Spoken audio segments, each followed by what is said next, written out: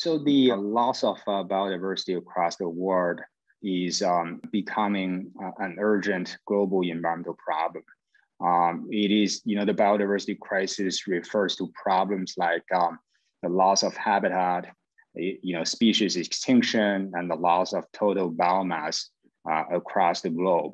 This, um, this crisis is now truly planetary in scale and is largely contributed by, uh, by human activities. It has also emerged as um, one of the most pressing environmental problems uh, on, the global, uh, on the global agenda um, and demands urgent cooperation from major countries. To highlight the urgency, scientists tell us um, more than 70% of the, glo- of the global land surface has been altered uh, by human activities.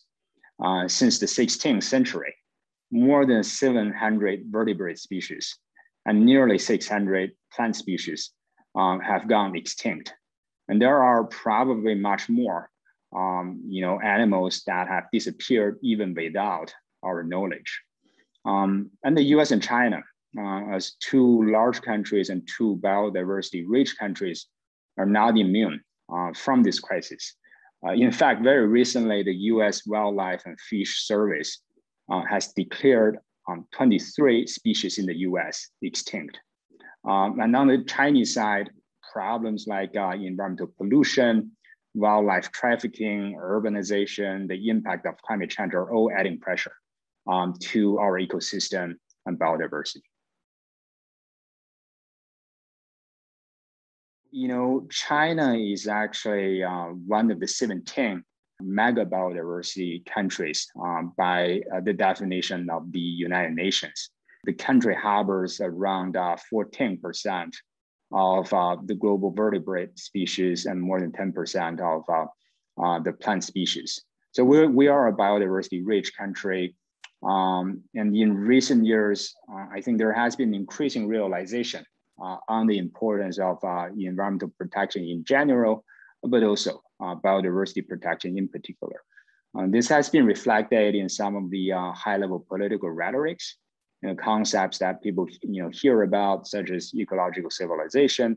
Uh, but it has also been coupled and complemented um, by concrete policy measures. The establishment, for example, uh, of um, national parks and protected areas across the country in recent years, uh, the tightening of uh, our wildlife management system, and also the general improvement of environmental conditions here the air pollution or air quality improvement being one of the um, most prominent uh, uh, case in point. Uh, that said, you know, I, th- I think the road ahead of us is still going to be quite long. Um, taking the um, our recent wildlife management reform, for example, um, this reform was very much triggered by the outbreak uh, of the COVID uh, crisis. Uh, and as a result of that, um, our wildlife management law was mandated late last year.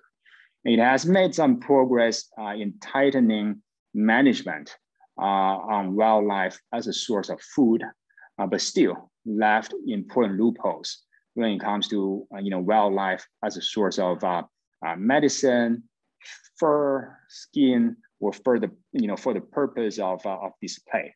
So there's still much, um, you know, that China can and should do to improve uh, the, um, you know, the biodiversity and species protection.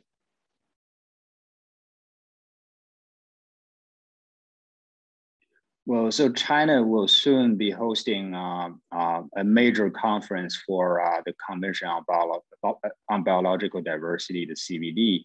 Um, and this, this uh, conference, COP15, uh, will be a major milestone uh, for the uh, for the CBD uh, negotiation process. Um, this meeting carries the task uh, of outlining a new decadal global biodiversity protection plan. Um, the Convention on Biological Diversity is a weaker environmental convention compared, for example, to the UN Framework Convention on Climate Change, the UNFCCC, um, it has long suffered from a lack of implementation uh, and also resource um, that uh, developed countries should provide to developing countries. And this lack of implementation and resource is precisely uh, why uh, the, the so-called Aichi biodiversity targets, which country uh, produced uh, in 2010, uh, have failed. And precisely uh, where Kunming should do better. Because without implementation and, and, and finance, you know, CBD would risk uh, becoming just an exercise of constantly outlining where we need to be, but without actually answering how do we actually get there. Um, so China um, this year and next year will have the task of you know steering uh, the global community towards a strong deal. Uh, I think it will be a major test to China's um, environmental diplomacy. Um, so far, Beijing has demonstrated uh, that it is able to help, um, you know, and support global environmental governance through its domestic action.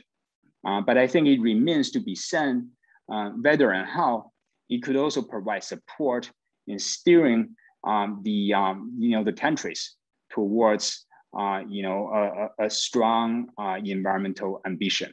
Uh, and in my view, the biggest legacy that China can leave uh, for uh, the CBD and COP15 is not only about outlining a future global biodiversity vision, but actively ensure that this vision is you know, uh, fulfilled and enforced.